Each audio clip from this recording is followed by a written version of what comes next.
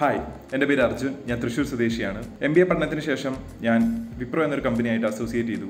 ഒന്നര കൊല്ലത്തോളം അവിടെ വർക്ക് ചെയ്യുമ്പോൾ അവിടെ നിന്നുകൊണ്ട് തന്നെ ഡയറക്റ്റ് സെല്ലിംഗ് എന്നുള്ള മേഖലയിൽ വളരെ ഫാസ്റ്റായിട്ട് ഗ്രോ ചെയ്യുന്ന ആർ സി എം എന്നുള്ള കമ്പനിയെ എനിക്ക് ദൂരെ നിന്ന് പഠിക്കാൻ പറ്റി. അതിന്റെ പൊട്ടൻഷ്യൽ എനിക്ക് മനസ്സിലായപ്പോൾ രണ്ടായിരത്തി പത്തൊമ്പതിൽ ഞാൻ വിപ്രോ കമ്പനിയിൽ നിന്ന് റിസൈൻ ചെയ്തുകൊണ്ട് ആർ സി എം എന്നുള്ള ഒരു പ്രസ്ഥാനത്തിലേക്ക് വന്നു. ഇപ്പോൾ രണ്ട് കൊല്ലമായിട്ട് സജീവമായിട്ട് ഇതിൽ പ്രവർത്തിക്കുന്നു.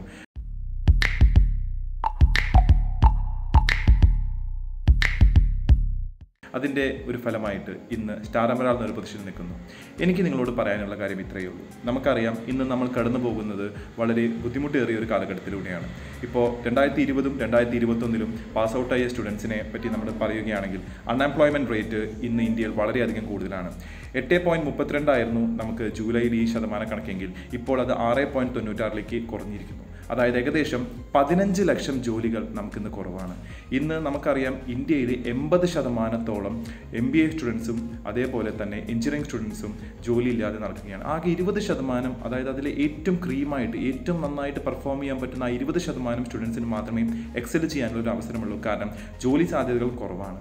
ഇനി ഈ ഒരു കാലഘട്ടത്തിൽ കൂടെ നമ്മൾ പോകുമ്പോൾ ഏതൊരു ചെറുപ്പക്കാരനും ആഗ്രഹിക്കുന്നത് ഫിനാൻഷ്യൽ ഫ്രീഡമാണ് ആ ഫിനാൻഷ്യൽ ഫ്രീഡം തരാൻ പ്രാപ്തമായ ഒരു കമ്പനി ഇന്ന് നിലവിലുണ്ടോ എന്നുള്ളത് നമ്മൾ അന്വേഷിക്കണം.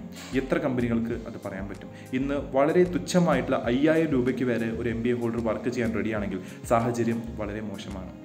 ഇത് C M I E A അതായത് central monitoring authority for economy Indian economy monitor ചെയ്യാൻ വേണ്ടിയുള്ള സെൻട്രൽ മോണിറ്ററിംഗ് അതോറിറ്റിയുടെ ഒരു കണക്കനുസരിച്ചിട്ട് ഏകദേശം കഴിഞ്ഞൊരു കൊല്ലം നമ്മൾ നോക്കിക്കഴിഞ്ഞാൽ മറ്റ് എല്ലാ മേഖലകളും തകർന്നിരിക്കുന്ന സമയത്ത് ഡയറക്ട് സെല്ലിംഗ് ഒരു മേഖല മാത്രം നോക്കിക്കഴിഞ്ഞാൽ ഏകദേശം അമ്പത്തി മൂന്ന് പോയിന്റ് പതിനെട്ട് ലക്ഷം ആൾക്കാരാണ് ഈ ബിസിനസ്സായിട്ട് ഫസ്റ്റ് ക്വാർട്ടറിൽ അതായത് രണ്ടായിരത്തി ഇരുപത് രണ്ടായിരത്തി ഇരുപത്തൊന്ന് ഫസ്റ്റ് ക്വാർട്ടറിൽ അസോസിയേറ്റ് ആയത് ഡയറക്റ്റ് സെല്ലിംഗ് മേഖലയിൽ.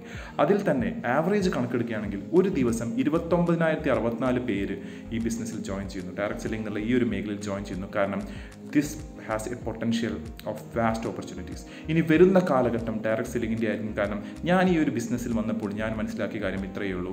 ഒരു ഫിനാൻഷ്യൽ ഇൻഡിപെൻഡൻസ് ആഗ്രഹിക്കുന്ന ഏതൊരു കുട്ടിയെ സംബന്ധിച്ചോളം ഇത് അൾട്ടിമേറ്റ് ഫ്രീഡമാണ് നിങ്ങൾ എവിടെ വർക്ക് ചെയ്താലും ഒരു നിശ്ചിത അളവ് വരെ മാത്രമേ നിങ്ങൾക്ക് വളരാൻ സാധിക്കുള്ളൂ. കാരണം നിങ്ങളുടെ വളർച്ച തീരുമാനിക്കുന്നത് മറ്റുള്ളവരാണ്. പക്ഷേ ഈ ഒരു മേഖലയിൽ വന്നു കഴിഞ്ഞാൽ നിങ്ങൾ എത്ര സമയം നിങ്ങളുടെ ജീവിതത്തിന് വേണ്ടി മാറ്റിവെക്കണം നിങ്ങൾക്ക് ആസ്വാദനത്തിന് വേണ്ടി മാറ്റിവെക്കണം നിങ്ങൾക്ക് സഞ്ചാരത്തിന് വേണ്ടി മാറ്റിവെക്കണം എന്നൊക്കെ തീരുമാനിക്കാൻ നിങ്ങൾക്ക് പറ്റുമെന്ന് മാത്രമല്ല നിങ്ങളുടെ അക്കൗണ്ടിലേക്ക് എത്ര വരുമാനം വരണം എന്നുള്ളത് ആലോചിക്കാനും തീരുമാനിക്കാനും നിങ്ങൾക്ക് പറ്റും.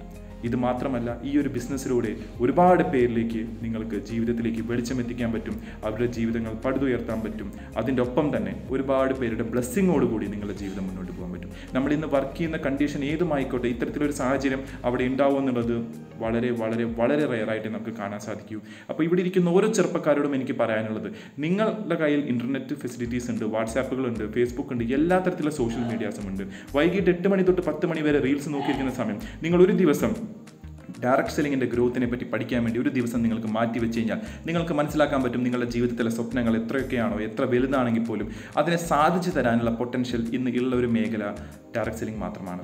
കൊറോണ വന്ന സമയത്ത് നമുക്കറിയാം ഏറ്റവും കൂടുതൽ ഇന്ത്യയ്ക്ക് ഏറ്റവും കൂടുതൽ ഇന്ത്യയ്ക്ക് ടേൺ ഓവർ കൊടുക്കുന്ന ഒരു കമ്പനി ഒരു സെക്ടറായിരുന്നു ടൂറിസം ഈ ടൂറിസം സെക്ടർ ആറ് മാസത്തോളം നിശ്ചലമായി കടന്നപ്പോൾ ഇന്ത്യയുടെ ടേൺ ഓവർ വട്ടപൂജ്യമായിട്ട് മാറി. ഏകദേശം പതിനാറായിരം ലക്ഷം കോടി ടേൺ ഓവർ കൊടുക്കുന്ന ഒരു മേഖല കംപ്ലീറ്റ് ആയിട്ട് ഷട്ട് ഡൗൺ ആയി.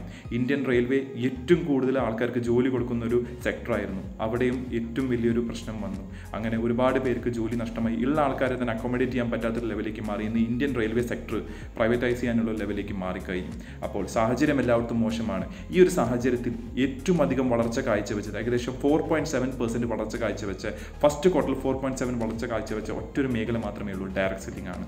കെ പി എം ജിയുടെ ഒരു റിപ്പോർട്ട് അനുസരിച്ചിട്ട് രണ്ടായിരത്തി ഇരുപത്തഞ്ചിൽ അറുപത്തിനാലായിരത്തി അഞ്ഞൂറ് കോടിയുടെ ടേൺ ഓവറാണ് ഡയറക്ട് സെല്ലിംഗ് മേഖലയിൽ ഉണ്ടാകാൻ പോകുന്നത്. അതിൽ അമ്പത്തഞ്ച് ശതമാനവും ന്യൂട്രീഷൻ സപ്ലിമെന്റ്സ് ആണ്. ഈ ഒരു കൊല്ലത്തെ കണക്കെടുത്ത് കഴിഞ്ഞാൽ തന്നെ ആവറേജ് ആയിട്ട് ഒരു അമ്പത്തഞ്ച് ശതമാനത്തിലെ ന്യൂട്രീഷൻ സപ്ലിമെന്റ്സിന്റെയാണ് നമുക്ക് സെയിൽ ഉണ്ടായിരിക്കുന്നത് ഇന്ത്യയിൽ.